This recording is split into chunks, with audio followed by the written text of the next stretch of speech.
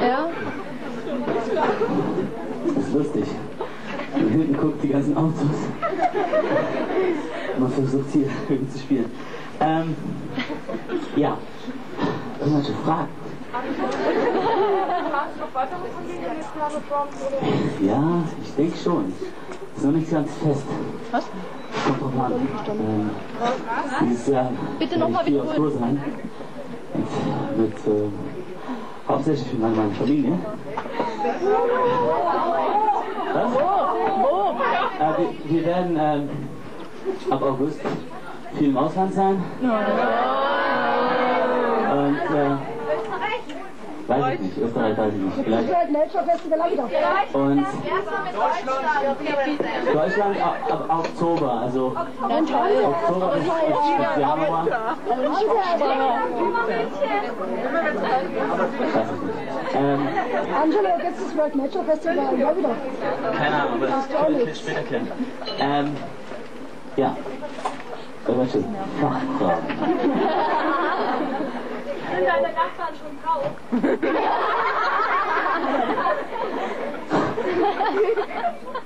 Irgendwie da hinten irgendjemand, der sich nicht traut, weil. Ja, Piano Thompson, gibt es die schon, schon länger auf dem Markt oder sind die jetzt relativ neu oder wie lange ist das Kind eingeschlossen? ähm, also die gibt's gar nicht.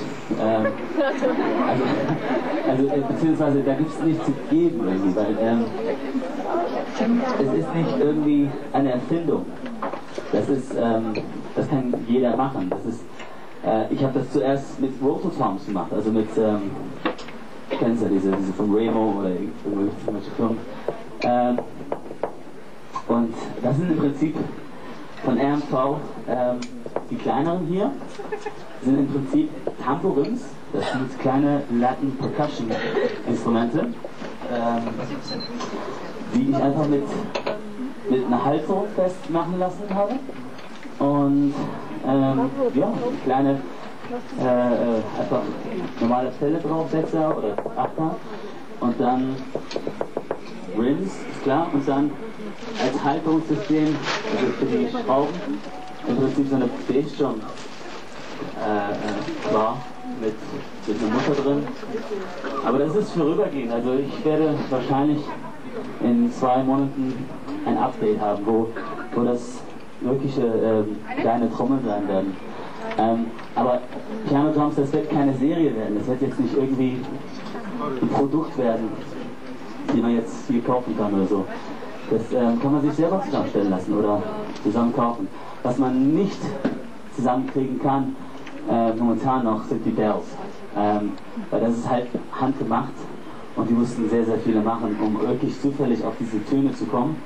Ähm, es gibt von Sebien, das ist jetzt eine andere Firma, ähm, aber das, die haben so chromatisch äh, eine Oktav, die man kriegen kann. Ähm, aber das ist eine andere Firma jetzt, aber ist ja egal. Ähm, aber Piano Drums gibt's nicht, ist aber auch jetzt nicht irgendwie irgendwas Tolles, die ich mir ausgedacht habe. Es ist nur eine Zusammenstellung. Es ist also chromatisch, die weiße Tastatur und die schwarzen, also zwei und drei, das war's eigentlich. Äh, so dass man chromatisch bestimmen kann, um alle Skalen vor sich ha zu haben und nicht irgendwie, oh, ich brauche jetzt noch ein äh, Dis und jetzt tue ich den jetzt hier und da und das, was auch anders ist, ist, dass ich vom Tief zu hoch ähm, andersrum aufgebaut habe. Also wie ein Linkshänder vielleicht, ne? Was ich nicht bin. Und, ähm, aber das ist einfach, weil die Klaviertastatur so ist. Und ich finde, es macht mehr Sinn, weil ich bin mit rechts irgendwie flinker und schneller und besser. Ähm, und muss auch rechts irgendwie mehr me melodisch arbeiten. Also mehr die, die Themen spielen, während ich mit, linker, mit der linken Hand mehr so ähm, ja, gewisse Läufe einfach spiele, weißt du? Ostinatos. Und äh, so Versuche. Und ähm, mit den Füßen ist da eigentlich, ich versuche einfach mit den Füßen irgendwie Pattern zu spielen, dass man ein bisschen Groove hat oder sowas. Äh, ich könnte aber die Füße auch weglassen, nur irgendwie es ist auch, Piano-Drums hat halt viel mit, mit, auch mit Marimba oder äh, mit Xylophon zu tun. Ne? Das ist auch, auch eine Sache, wo ich jetzt ähm, mehr und mehr versuche, mit zwei Stücken jeweils zu arbeiten. Also ich, ich, ich habe noch kein Stück damit, aber ich zeige dir nur kurz.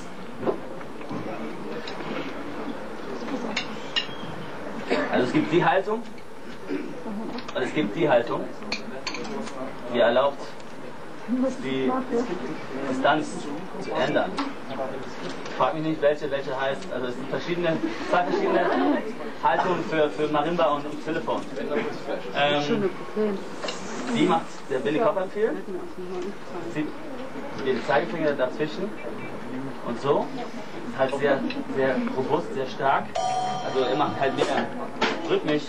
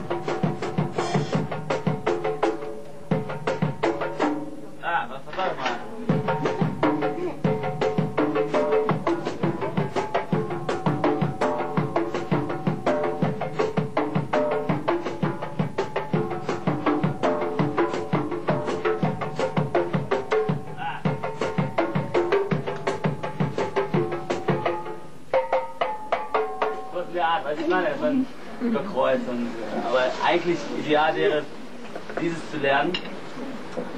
Also mit den zwei Fingern so, mit denen, dass man die Position ändern kann, weil es sich immer verschiebt. Hier braucht man mehr Platz als, als hier. Weißt du? Das ist halt, ähm, das sind so Kleinigkeiten, woran ich arbeiten muss, äh, um halt das meiste rauszuholen. Es geht nicht darum, irgendwie geht nicht darum, diese Techniken zu lernen, sondern es geht darum, die als Werkzeuge zu benutzen, um die Komposition umzusetzen. Das ist für mich auch das Interessante an Piano-Drums. Es zwingt mich dazu, mich technisch mehr ähm, zu erweitern, also äh, zu lernen und nicht so faul zu sein. Angela, zeig schon mal bitte. Was? Zeig schon mal Ah, ja, das braucht man für normalen Spielen nicht unbedingt. Also lieber einen, einen Xylophon, einen äh, Marimba-Spieler fragen, äh, worauf, wo, wo ich auch ein bisschen was lernen muss, ist auch von, von äh, Orgelisten.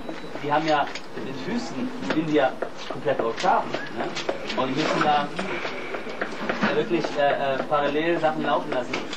Ähm, das heißt nicht nur von Schlagzeugern, sondern auch Telefon, Marimba, ähm, Organisten, Klavierspieler sowieso. Ähm, ja. Ja. Ähm, ansonsten, ähm, was ich auch äh, von, von Billy gelernt habe, ähm, sp- sprich Technik, ist, ähm, ist, eine Fingertechnik, die he heißt einfach French, French Grip. Also, ähm, also es, es gibt German Grip, deutsche Haltung äh, und, und French Grip, äh, französische Haltung. Und ähm, das sind beides Fingertechniken, die nichts mit der Armgelenk zu tun haben oder mit dem Arm äh, an sich. Das sind, äh, sobald der Arm oder irgendwas reinkommt, ist das vielleicht die Modeabteilung. Ähm, für manche von euch klingt das hier alles Spanisch, aber ich erzähle es sowieso. Ähm, ja, im Prinzip, diese ähm, Grip erlaubt mir einfach ohne Schmerzen einfach viel, viel mehr Kontrolle. Einfach Single Strokes zum Beispiel, einfach ein, einzelne Schläge äh, auch relativ schnell zu bekommen, zum Beispiel sowas in der Art jetzt.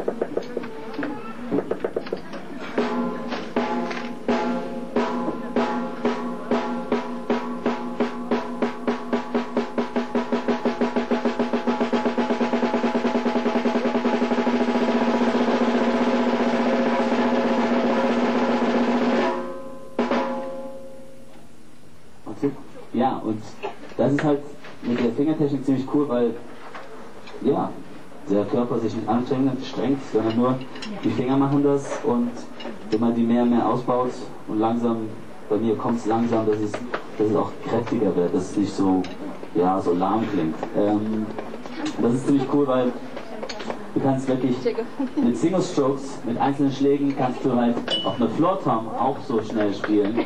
Ähm, und mit, Doppel, mit Doppelstrokes oder mit Rebound ähm, kann man das nicht. Also ich zeige mal den Unterschied kurz. Mit Rebound oder mit Doppelstrokes. Irgendwann geht's, oh, also es ist nicht sehr definiert. Und mit Singles so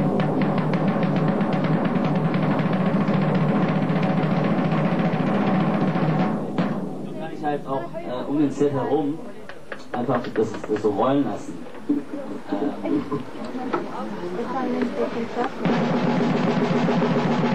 Ähm,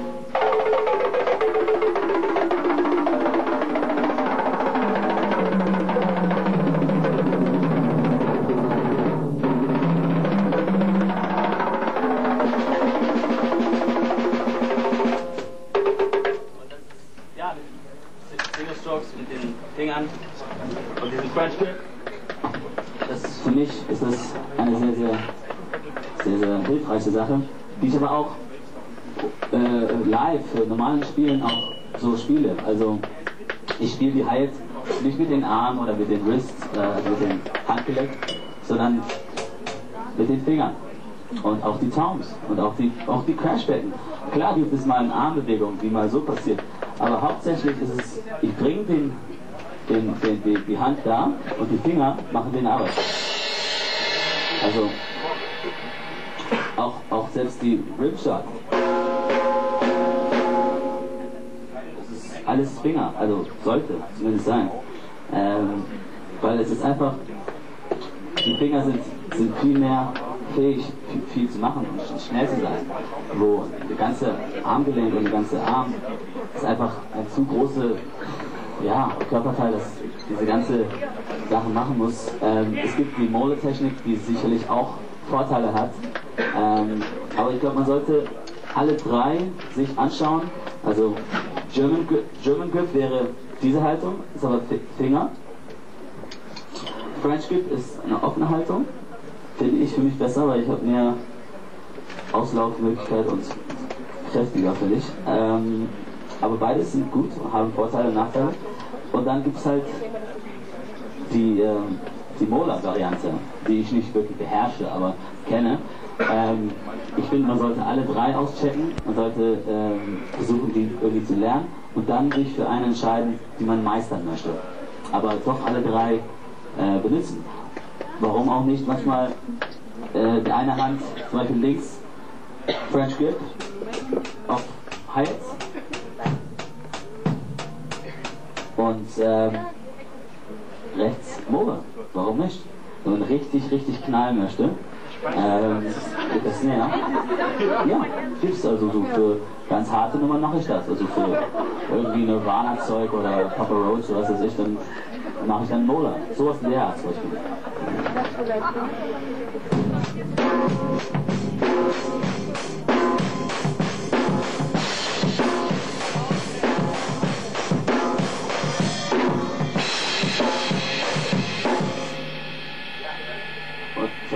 Dann, ähm, dann ist es halt irgendwie doch ähm, bewusst, dass man das machen möchte. Äh, ich finde, es gibt nichts Schlimmeres für mich, etwas zu machen, ohne zu wissen, warum ich das mache. Also man oft, man hört irgendwie eine Au- Aufnahme oder man guckt auf irgendein Videomaterial und sieht dann irgendwas, was man macht. Irgendeine Kör Körperhaltung oder irgendwie, ja, ähm, und man merkt dann, ach du Scheiße, was ist das denn? Ähm, ich glaube, man, man, man ist ein bester Lehrer, wenn man wirklich kritisch sich selber anschaut, sei es im Spiegel ähm, oder Aufnahmen. Man muss wirklich darauf achten. Sie sich mal Ähm, einsetzen. Wenn ich jetzt Unterricht gebe, Lass sie sich mal einsetzen. kläre ich so ganz, Ja. ganz basic Sachen. Die Kleinen, die Trommel, die Bekloppte. Voll Beste.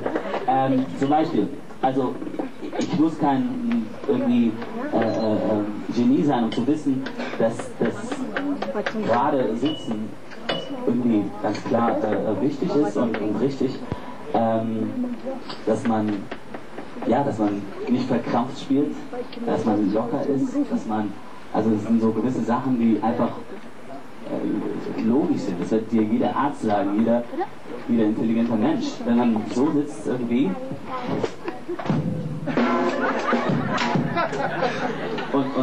ich habe so gesessen früher. Und sicherlich ein paar von euch immer noch. Ne? Also ist so. Und ähm, weil man denkt, oder weil man gar nicht denkt, das ist, ja, wirklich, wenn man einfach nicht drüber nachdenkt, man möchte einfach spielen, ist ja auch super. Aber ähm, wenn man sich irgendwann wundert, warum komme ich nicht weiter, und das hat jeder mal, ähm, öfters und immer, ich auch, ähm, dann, äh, dann sind es oft solche Sachen. Ne? Man, man, kommt, man kommt in eine Sackgasse ähm, und merkt dann, scheiße, ich muss jetzt erstmal zurück und muss erstmal ein paar Sachen äh, neu irgendwie Fundament bauen.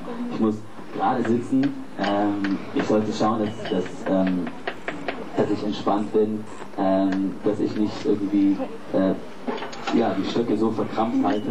Ich habe das ein paar Jahre lang gemacht äh, und wir haben zu der Zeit, da war ich so, so als richtig Schmerzen gehabt, weil wir haben fast jeden Abend gespielt, bestimmt 250, 300 Konzerte im Jahr gehabt zu der Zeit. Und äh, ich habe überhaupt keine Technik gehabt, ich habe nur so fest wie möglich gehauen und, und, und dann gehalten und habe dann irgendwie Tennisarm, Golferarm auf beiden Arme gehabt ähm, und Rückenschmerzen ohne Enden. Und äh, bis ich dann Bill Kaufmann als Lehrer bekommen habe. Und das war wirklich nötig.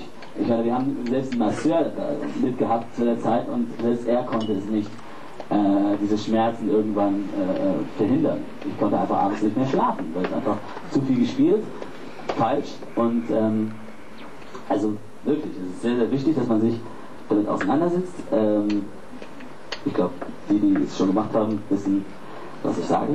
Ähm, und insofern, ja, ich will einfach gucken, dass gerade sitzen, ähm, ich habe das auch durch, durch äh, Reitsport, die ich gemacht habe, das war ganz klar, muss gerade sitzen. Ähm, gerade sitzen ist auch, es gibt einfach viel mehr, viel mehr äh, Kraft und viel mehr Power im Spiel. Und ähm, Kleinigkeiten, zum Beispiel das Schlagzeug irgendwie ähm, sollte gut in, in Reichweite sein, dass man irgendwie nicht jetzt Gut, das ist ein großes Schlagzeug. Das heißt, wenn ich da ankommen muss, dann muss ich halt meinen Arm strecken. Ne? Und, äh, aber, ähm, aber ansonsten, wenn man normal als Set spielt, dann alles in Reichweite und nicht irgendwie so aufbauen, dass es cool aussieht. Dass es irgendwie die Becken ganz weit, weit oben und ganz tief sitzen und irgendwie, ähm, also es ist nicht so empfehlenswert. Man sollte gucken, dass man das wirklich logisch anschaut. Was ist direkt, wo muss ich, ich also wenn ich mal das Set live unterwegs habe, dann könnte man hinter mir gehen, die, die äh, Hände auf meinen, meinen, meinen Rücken tun, auf meinen, meine Schulter. Und man würde merken, dass nur das sich bewegt. Also nur die, die Arme und dann die Finger das, die Arbeit machen. Und, und nicht, nicht das. Weil ähm, das ist erstmal gesundheitlich überhaupt nicht gut. Und zweitens äh, hast du irgendwann äh, Schmerzen, Krämpfe, Energieverlust und so weiter und so fort. Ähm, ja, so dass man auch tief, äh, ruhig ein- und ausatmen kann. Ähm, das sind die ganzen Sachen.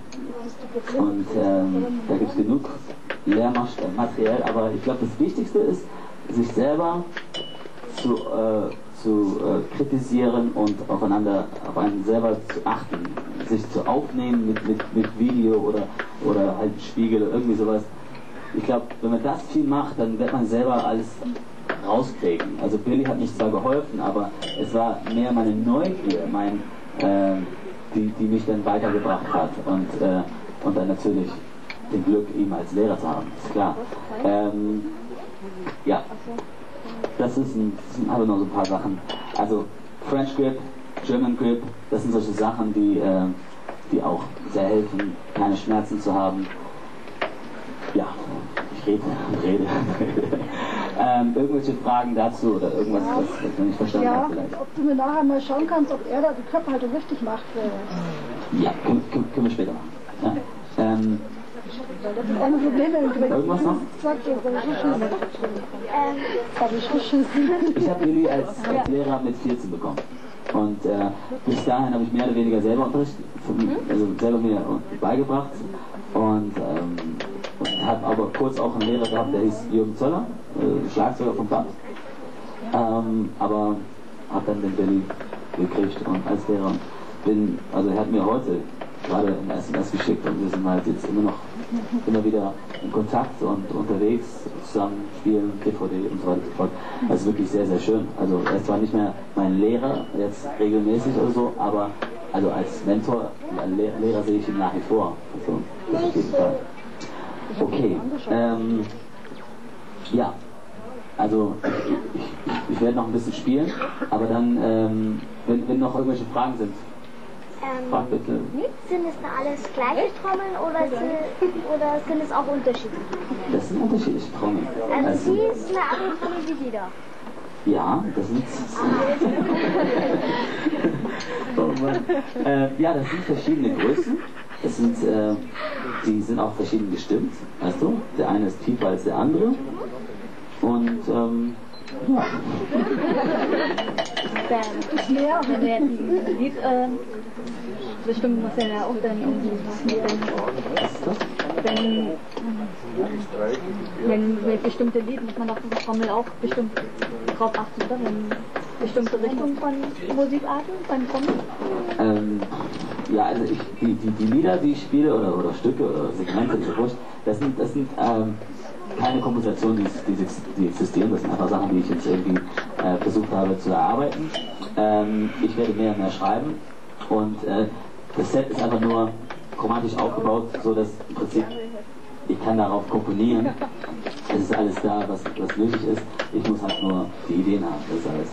Ähm, aber ich ändere keinen Aufbau für verschiedene Stücke. Ich versuche nicht irgendwie, ah, für den Stück brauche ich da ein C oder das oder wie auch immer und dann ändere ich das. Also das, das will ich nicht machen. Ich möchte, dass man eine Struktur habe und dann darauf äh, ähm, komponieren, schreiben.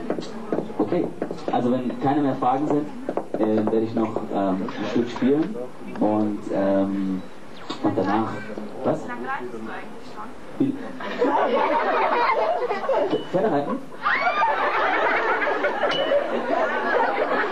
Meine Güte, Frauen. Ähm,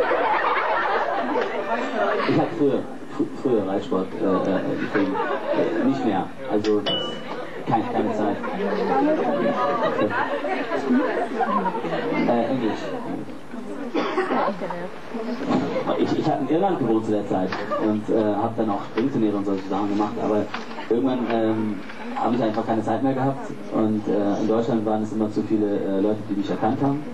Und, äh, und ja, ich habe einfach aufgehört, weil es äh, so ab und zu irgendwie äh, ist, ist mir zu blöd, weil wenn man ein gewisses Niveau erreicht hat, dann ist entweder man kommt dahin zurück und bringt auch, äh, macht wirklich viel, viel intensiv äh, äh, diesen Sport oder man lässt das ganz für mich.